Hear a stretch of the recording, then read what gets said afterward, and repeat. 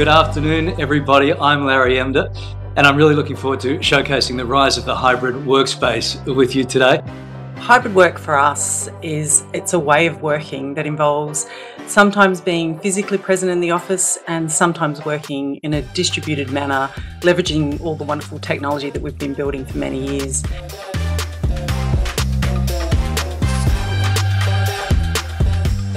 Ninety percent of your salary is being paid for people to use virtual collaboration technologies. 90% of the time they're spending when they come into the workplace is also being spent on that.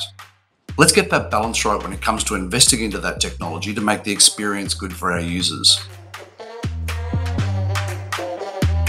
It's about connectivity.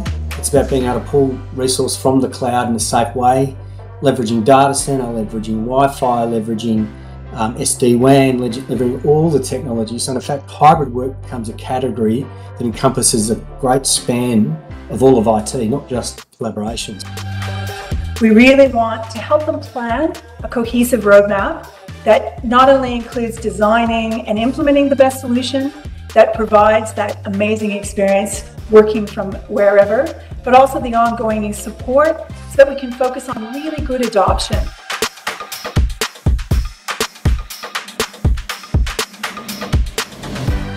And despite the fact that Heidi is from Optus and I'm from Cisco, we were actually able to chat across organizations and share documents, provide feedback, even though they're from two different organizations. WebEx devices with insights, customizable to be able to free up space and optimize space to get better use of those spaces and provide great experiences for everyone. So that really demonstrates the fact that hybrid is here to stay.